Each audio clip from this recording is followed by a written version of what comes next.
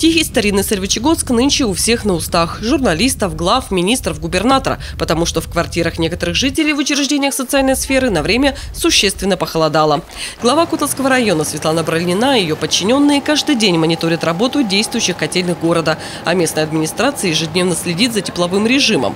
Только благодаря этому ситуацию удается держать под контролем. И только поэтому температуру в домах и соцучреждениях даже тогда, когда на улице было минус 25, удалось поднять практически до нужного уровня. Я каждое утро проверяю, батареи горячие или теплые, но я не включала обогреватель в эту зиму ни разу. Обходилась. Если я одета тепло, это не значит, что там в моей квартире. Единственное, что это квартира угловая.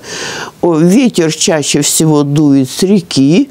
Если копнуть глубже, эта проблема возникла не сегодня. Еще в 2013 году администрация Котловского района заключила договор на теплоснабжение Сальвычегодска с частной компанией «Котлостройинвест». Арендатор принял на себя обязательства от ремонтов, услуг по производству и передаче тепловой энергии до реализации инвестиционной программы и содержания арендуемого имущества в надлежащем техсостоянии.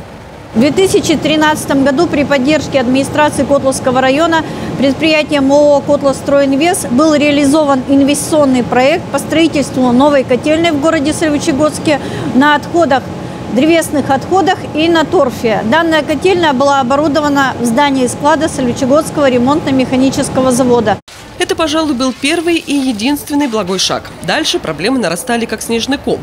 Жители города получили не только перетоп квартир до 35 градусов в теплую погоду и снижение температур в мороз, высокое давление, головные боли и огромные счета, но и едва ли не экологическую катастрофу. В администрации поселений и районов, правительство области и Роспотребнадзор начали сыпаться коллективные жалобы на выхлопы. В обиход горожан прошлой зимой вошло выражение «черный снег». И это не преувеличение. Так грязно, копотно и черно в белоснежном православном Сальвычегодске, где полно памятников истории и культуры, не было еще никогда. Город в дыму весь был. То есть вот даже на подъезде к городу, подъезжая, можно увидеть, что э, вот дымка то есть сквозь дома вот этот дым идет. Э, жители жаловались, собирали э, подписи. Неоднократно прежнему владельцу предлагалось получить разрешение на ввод котельной, оформить нужные документы, установить нормальную систему очистки на котельной. Но требования администрации частник игнорировал. Дело дошло до суда. Согласно его решениям, компания «Котлостройинвест» должна была устранить нарушение требований законодательства об охране окружающей среды и привести в первоначальное состояние путем демонтажа котельной здание склада запчастей. Независимо от того, значит, котельная работает на газу, на угле или на дровах, она обязана выполнять те нормы, которые в нашем законодательстве природоохранном предусмотрены. Но вместо исполнения своих обязательств общество с ограниченной ответственностью Котлостройинвест в ходе своей деятельности, задолжавшее только бюджету Котловского района более 8,5 миллионов рублей, видимо, напоследок решило оставить о себе долгую и недобрую память и подала в суд на банкротство. Причем сделала это весной, по сути, собрав деньги в прибыльный период и бросив район во время подготовки к очередному сезону.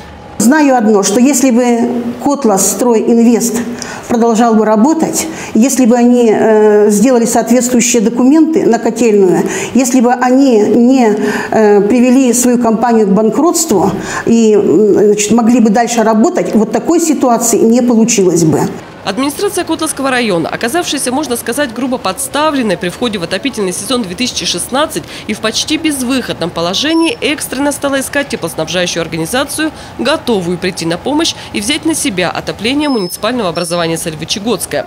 Кроме того, экстренно ей пришлось проводить надлежащее состояние муниципальное имущество, за которым предыдущий собственник, как выяснилось, не следил. В этой ситуации мы вынуждены были принимать, разрабатывать комплекс мероприятий, чтобы не сорвать начало отопительного периода в городе Сольвычегодске. Поэтому мы обратились за помощью правительства Архангельской области. Специалисты администрации подготовили соответствующие заявку на получение субсидий из областного бюджета на выполнение работ по капитальному ремонту центральной котельной, в которой мы сегодня находимся, для того, чтобы можно было осуществить начало этого отопительного периода именно здесь. Муниципальная заявка конкурсной комиссии Архангельской области была одобрена, лимит средств выделен. Но даже в этом случае найти новую теплоснабжающую организацию было сложно. Кому только не обращалась администрация района. В областные энергетические компании, в городские предприятия, но ни одна из них, понимая реальное положение дел, не соглашалась. Только путем длительных уговоров в августе был заключен договор с организацией из Вологодской области «Теплоэнергосервис», которая в сжатые сроки вынуждена была подготовить подготовить котельную к эксплуатации зимой.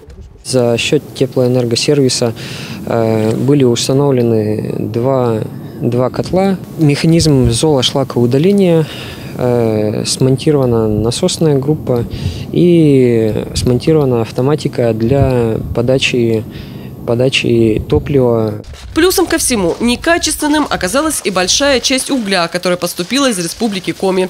Все это и сказалось на снижении температурного режима в пяти домах и соцучреждениях города Сольвычегодска. Кроме того, новый котел, который уже был к этому моменту заказан, оказался бракованным. Пришел, котел привезли, смонтировали за три дня. А он не пошел сначала. Исправлением брака круглосуточно занимались три бригады – с Красавина, Кирова и Коряжмы. Времени – вот чего не хватило администрации района и новому арендатору котельной. Неожиданно резко ударили холода. Но власти района не стали скрывать или замалчивать проблему. Из Архангельска в Сальвичегодск были доставлены отопительные приборы для школы, садика, детского дома и нуждающегося населения. С углем помогли филиал группы «Элим» и Шпицинский агропромышленный техникум. Теперь запасы качественного топлива в городе есть есть. И сегодня температуру в домах удалось поднять, но не везде. По-прежнему холодно осталось только в тех квартирах, где опрессовка систем управляющей компании не была проведена. У нас температура стабильная. У нас 20-25 градусов. Все время. Ситуация в муниципальном образовании Сальвычегодская находится под личным контролем главы района Светланы Брониной. Для меня, как главы района, принципиально, чтобы было налажено теплоснабжение. А какая организация будет заниматься им, мне, в принципе, все равно. В крайнем случае, говорит Светлана Бронина, если проблемы с теплоснабжением города продолжатся, она вынуждена будет расторгнуть договор с новым арендатором – компанией «Теплоэнергосервис» и передать выполнение услуг по теплоснабжению областной энергетической компании. Предварительная договоренность об этом с министром ТКЖКХ достигнута.